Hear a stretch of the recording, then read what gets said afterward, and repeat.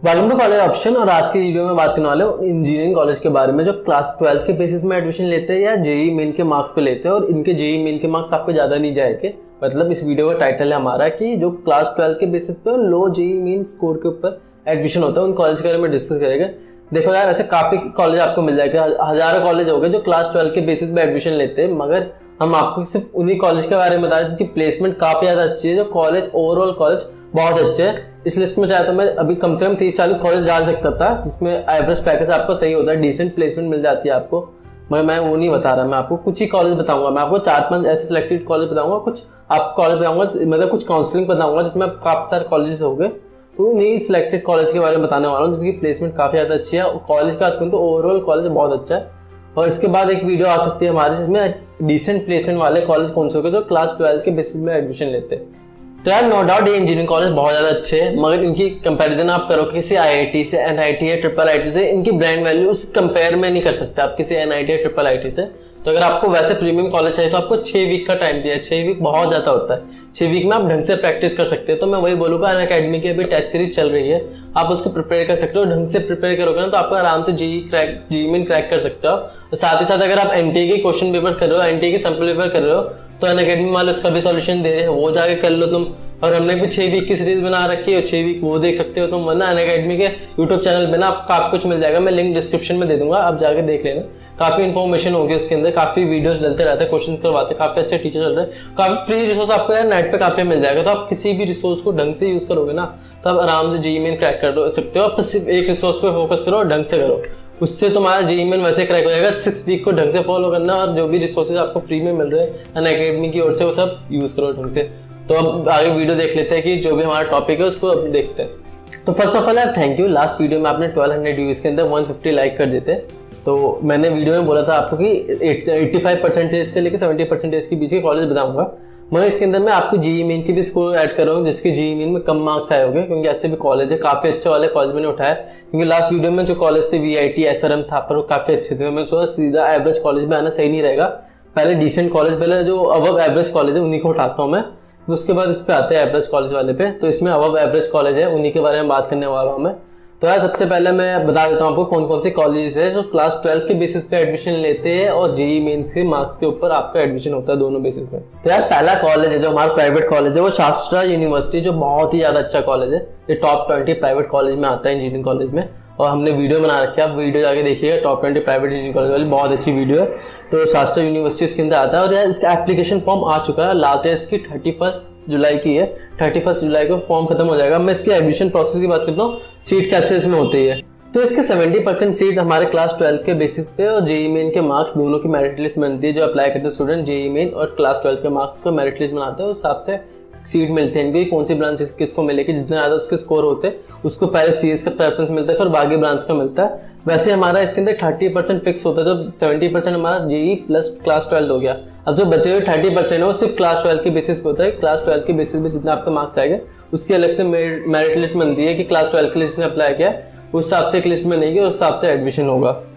तो second number है college की बात करते हैं तो हमारा आता है जेपी जेपी की बेसिकली तीन ब्रांच है, और जो सबसे अच्छा ब्रांच है वो जे आई टी नोएडा है, और जो जेपी का एडमिशन प्रोसेस होता था, वो इससे पहले हमारा जी मीन्स के बेसिस पे होता था। मगर अब इसका जो आप वेबसाइट खोल के देखोगे जेपी का तो आपको इसके अंदर मिलेगा क्लास ट्वेल्व के बेसिस में एडमिशन ले रहे तो इसका जो सबसे अच्छा ब्रांच है वो जे नोएडा है।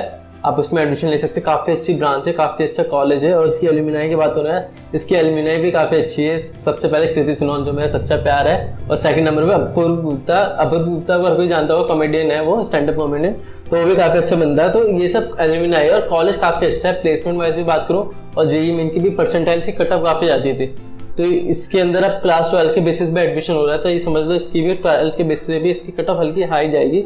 मगर ये कि आपको बाकी ब्रांचेस सी एस और ई सी में तो हाई जाती है ऑब्वियसली बात है, मगर उसके बाद आपको हल्की कम जो लोअर ब्रांच होती है, उसके अंदर आपका इजिली एडमिशन हो सकता है। तो तीसरा कॉलेज हमारा था शिव नागर यूनिवर्सिटी उसके एडमिशन की बात करूँ तो एट्टी परसेंटाइल से अगर आपके ज़्यादा हाई मार्क्स तो आपको सीधा एडमिशन हो जाएगा। अब आप बोलोगे भाई एट्टी परसेंटाइल तो काफ़ी ज़्यादा होता है। नहीं यार जनरल वालों के लिए ज़्यादा नहीं होता क्योंकि जनरल वालों का जो एडमिशन प्रोसेस होता है ना, उसका 95 96 तक ही मैक्सिमम जाता है कट ऑफ़ किसी भी कॉलेज का। तो 80 परसेंटाइल उनके लिए काफ़ी मतलब ज़्यादा रिलैक्सेशन मिल गया उनको। तो 80 परसेंटाइल आपकी जेई में आ रखी है तो आपको सीधा इसमें एडमिशन मिलेगा, मगर ब्रांच आपकी नहीं डिसाइड होगी कि एट्टी परसेंटाइल आ गई तो आपको सी मिल जाएगा, ऐसा नहीं हुआ। क्योंकि इसके अंदर क्या है कि हर स्टूडेंट हर कोई स्टूडेंट अप्लाई करता है तो उसकी भी मेरिट लिस्ट बनती है। उस हिसाब से सी एस सी की सीट मिलती है, फिर ई सी की, फिर ऐसी सीट मतलब फिक्स होती है। परसेंटाइल बेसिस पे आपको कितनी, ज़्यादा परसेंटाइल होगी उस हिसाब से आपको ब्रांच मिलेगा। सेकंड इसका एडमिशन प्रोसेस होता है, जिसके जेई मेन में अच्छे मार्क्स नहीं आए क्लास ट्वेल्थ में ठीक ठाक मार्क्स आए तो एस एन यू सेट का एग्ज़ाम दे सकता है। उसके अंदर आप देख के आराम से, मैं एक वीडियो बना रखा है एस एन यू साइट पर पूरी शिवनादर के ऊपर। आप वो वीडियो देख लेना, आपके सारे डाउट क्लियर हो जाएँगे शिवनादर तो यार, आप लोगों में से कुछ लोग बोलेगे भाई एमिटी कहाँ गई? एमिटी तो काफ़ी अच्छी मानी जाती है ना फ्रैंकिंग इसकी तो डी टू से ऊपर दे रखा है कॉलेज को डी टू से अच्छा बता रखा है ना फ्रैंकिंग में और ट्रिपल आई टी हैदराबाद से अच्छा बता रखा है तो इन सब की रैंकिंग अच्छी दे रखी तो एमिटी कहाँ है आपकी लिस्ट में? यार एमिटी की बात करो ओवरऑल कॉलेज अच्छा है नो डाउट मगर प्लेसमेंट पॉइंट ऑफ़ व्यू से इतना खास कॉलेज नहीं है। एवरेज प्लेसमेंट कह सकते हैं, मैं कह रहा हूँ मतलब जितना आप फ़ीस दे रहे हो ना सबसे से एवरेज प्लेसमेंट आपको मिल जाएगी। इतनी कोई खतरनाक प्लेसमेंट नहीं है इसकी। मगर ओवरऑल कॉलेज काफ़ी अच्छा है एम यूनिवर्सिटी इसलिए इसको तुम कंसीडर कर सकते हो, मगर ये ओवरऑल में प्लेसमेंट के हिसाब से डिसेंट प्लेसमेंट मतलब ठीक ठाक है। मगर जो एक अलग से वीडियो में डालूँगा डिसेंट प्लेसमेंट की, जिसमें आपको अच्छे प्लेसमेंट वाले कॉलेज मिलेंगे इसका एवरेज पैकेज फाइव से सिक्स लैख मिनिमम होगा, वैसी वीडियो आएगी, जल्दी आएगी। और बाकी मैं बात कर लेता हूँ, यार, ये सब कॉलेजेस हो गए। कुछ कॉलेज होते ना कि हमारे कॉमेट के कॉलेज में अगर आप सीधा आपके पास पैसा है मैनेजमेंट कोटा के थ्रू एडमिशन ले सकते हैं, क्योंकि कॉमेट के थ्रू एडमिशन होता है। मगर आप मैनेजमेंट कोटा के थ्रू एडमिशन ले सकते कॉमेड के में। और इस बार महाराष्ट्र के कॉलेज की बात करें, महाराष्ट्र सी का एग्ज़ाम आपको पता है पोस्टपोन होते जा रहा है, मगर केसेस उसके इंक्रीज हो रहे हैं। तो एक चांस लेके चल सकते हो कि शायद एग्ज़ाम कैंसिल हो जाए। इन केस अगर एग्ज़ाम कैंसिल हुआ महाराष्ट्र सी क्योंकि उसमें केसेस काफ़ी ज़्यादा आ रहे हैं तो वो महाराष्ट्र सी जो महाराष्ट्र के अंदर कॉलेज है मोस्टली आपको महाराष्ट्र सी और जेई मेन के स्कोर पे एडमिशन देते हैं। तो आपको ये है कि जेई मेन की आपकी हेल्थ किसी, आपको रिलैक्सेशन मिल जाएगी स्कोर में और आप आराम से उसके बेसिस पे एडमिशन ले सकते हैं जेई मेन के स्कोर पे। मगर इनके सो भी गया तो कोई इश्यू नहीं है, क्योंकि लास्ट के अंदर काफ़ी अच्छे अच्छे कॉलेज है। तो एक हमारा होता है एम पुणे काफ़ी अच्छा कॉलेज है। बाट दे बिट्टा बीट भी अच्छा कॉलेज है और एक डी वाई पाटिल अब डी वाई पाटिल की बात कर लेता हूँ मैं तो इसके अंदर नो डाउट की सीएससी वगैरह की जेई मेन की स्कोर अच्छी आती है। आपको ninety three ninety four percentage चाहिए सीएससी के लिए, मगर अगर मैं बाकी ब्रांच की बात करूँ तो इसी e तक की आपकी 88 89 तक आपको इसी e मिल जाएगी और बाकी सिविल वगैरह में तो आपको 75 परसेंट आयल पे भी एडमिशन हो सकता है। डी वाई पाटिल जैसे अच्छे कॉलेज में पुणे में जो है। वैसे काफ़ी कॉलेज है। अब मैं बात कर लेता हूँ, एक T N E A Tamil Nadu का हमारा एक काउंसलिंग प्रोसेस होता है एडमिशन का।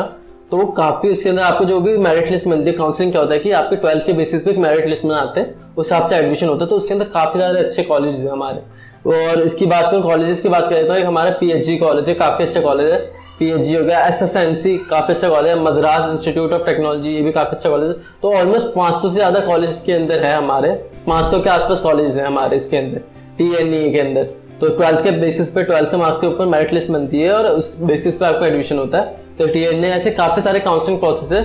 देखो, अरे काउंसलिंग प्रोसेस का बता रहा हूँ ना, काफ़ी सारे कॉलेज के अंदर पार्टिसिपेट करते हैं, मगर कुछ ही कॉलेज टॉप के अच्छे होते हैं, बाकी कुछ कॉलेज एवरेज होते हैं, बाकी बिलो एवरेज होते हैं कॉलेज तो नो डाउट इन सब में आपका आराम से एडमिशन हो जाता है। चाहे एवरेज की बात करूँ बिलो एवरेज में भी आपका एडमिशन हो जाएगा। इसलिए मैं काफ़ी कॉलेज आ रहे तो मैं हर एक के नाम नहीं बता सकता, बस मैं आपको बता रहा हूँ। क्योंकि ये शायद आपको यूट्यूब पे बहुत कम लोग बताते हो कि इन सब में भी आप अप्लाई कर सकते हो। तो सेकंड नंबर बात है हमारा पंजाब टेक्निकल यूनिवर्सिटी इसके अंदर ऑलमोस्ट 73 कॉलेजेस आते हैं इंजीनियरिंग कॉलेजेस की बात करूँ मैं। तो इसके अंदर भी आपका ट्वेल्थ के बेसिस पे और जेई मेन के बेसिस पे स्कोर बनता है, उस हिसाब से एडमिशन होता है। मेरे दोस्त की बात करूँ यार, मेरा एक दोस्त था, मेरे भाई का दोस्त था बेसिकली उसका भी इसके अंदर 55 उसकी 55 57 परसेंटेज आई थी क्लास ट्वेल्थ के अंदर। और उसके जेई स्कोर भी ज़्यादा अच्छे नहीं थे। तो भी उसको एक कॉलेज मिल गया बिलो एवरेज कॉलेज था आई नो वह पंजाब में कॉलेज मिल गया था, दिल्ली से था वो। तो इसके अंदर भी आपको ट्वेल्थ के बेसिस में भी, कम परसेंटेज में भी कॉलेजेस मिल जाते हैं। मैं कॉलेजेस की बात करूँ ये नहीं कह रहा कि उनकी प्लेसमेंट काफ़ी खतरनाक हो। कॉलेज मिल जाएगा, आपको एवरेज बिलो एवरेज कॉलेज वहाँ पे मिल जाएँगे। और इसकी बात करूँ मैं राजस्थान की भी तो राजस्थान में भी college Rajasthan engineering admission process होता है आर ई ए पी इसके थ्रू भी इसमें कुछ ऑलमोस्ट 90 कॉलेजेस होते हैं, इसके अंदर भी 90 के आसपास कॉलेज होते हैं। तो इसमें भी काफ़ी सारे कॉलेज आते हैं। कुछ कॉलेजेस टॉप पे काफ़ी अच्छे होते हैं, कुछ होते हैं डिसेंट कॉलेज होते हैं, और बाकी मैंने जो बताया बिलो एवरेज होते हैं। तो टॉप कॉलेज में हो रहा था आराम से एडमिशन ले लो। बाकी कॉलेज में एवरेज या बिलो एवरेज में तो आपका वैसे भी एडमिशन हो जाता है। तो इसके अंदर भी वही जेई मेन और आपके ट्वेल्थ के बेसिस पे मेरिट लिस्ट मिलती है, जो भी एडमिशन होता है, उस हिसाब से कॉलेज में होता है। उन्हें कुछ कॉलेज में सीधा जाके एडमिशन करवा सकते हैं आप। और महाराष्ट्र की एमपी की बात करूँ यार, मध्य प्रदेश का भी अलग से एडमिशन प्रोसेस होता है। इसको एमपी डीईटी के नाम से जानते हैं और इसके अंदर भी आपको काफ़ी कॉलेज मिल जाएँगे। और इसके अंदर तो अच्छे अच्छे कॉलेज है, काफ़ी सारे कॉलेज इसके अंदर। जबलपुर इंजीनियरिंग कॉलेज भी सही है। L N C T Bhopal भी अच्छा कॉलेज है। ऐसे काफ़ी सारे कॉलेज है इसके अंदर। तो ये सब कुछ काउंसलिंग प्रोसेस मैंने बताया। ऐसे काफ़ी सारे अलग अलग स्टेट के काउंसलिंग प्रोसेस होते हैं। तो उसमें मेरिट लिस्ट आपकी क्लास ट्वेल्थ और इसके बेसिस पे होती है। मगर मैंने इसके अंदर प्रॉपर कॉलेज मैंने आपके स्टार्टिंग में चार पाँच बता दिए थे। तो काफ़ी अच्छे कॉलेज है उन कॉलेज के नाम बता दिए थे मैंने। और भी कॉलेज है जिनकी प्लेसमेंट अच्छी है आपको। तो वीडियो अलग से आ जाएगी। इस पर क्या करना है आपको? आपको पता है वीडियो को बस लाइक करना और शेयर करना। जितना लाइक करोगे, उतना शेयर करोगे, उतनी जल्दी वीडियो आ जाएगी आपकी। तो वीडियो को लाइक करना शेयर करना। बाकी ये सब चीज़ें मैंने तो आपको काउंसलिंग फॉर्म बताया, हर स्टेट के आप भर देना जाके क्लास ट्वेल्थ के बेसिस पे और जेई मेन के बेसिस पे मेरिट लिस्ट बनता है तो आप इन सब में भर सकते हो। आपको कॉलेज आराम से मिल जाएगा। तो यार वीडियो को अच्छी लगी है तो लाइक कर देना, क्योंकि मैंने प्रॉमिस जो आपको बोला था कि 85 से 70 के बीच के कॉलेजेस वो तीन चार कॉलेज मैंने डाल दिए इसके अंदर। वहाँ बाकी कॉलेज थे, वो ठीक ठाक कॉलेज थे। कुछ लोग बोलते कि यार, बेकार है, इसलिए मैंने उनको जान के नहीं डाले। वो अलग से वीडियो आ जाएगी, उसके अंदर कोई कम मतलब अलग से वीडियो आ जाएगी, उसके अंदर कोई भी बंदा जा सकता है। Sixty to seventy five percentage या एट्टी परसेंटेज वाले बच्चे एडमिशन ले सकते हैं। परसेंटेज वाइज उनकी ब्रांच डिसाइड होगी ऑब्वियसली बात है। जितनी परसेंटेज होगी, उस हिसाब से ब्रांच होगी। तो वो अलग से एक वीडियो आ जाएगी, मगर ये वीडियो आ चुकी है आपके लिए। तो इस वीडियो को लाइक करो शेयर करो चैनल को सब्सक्राइब कर देना, और बेल आइकन दबा देना, क्योंकि वो ज़रूरी होता है। तो थैंक यू दोस्तों इस वीडियो को देखने के लिए।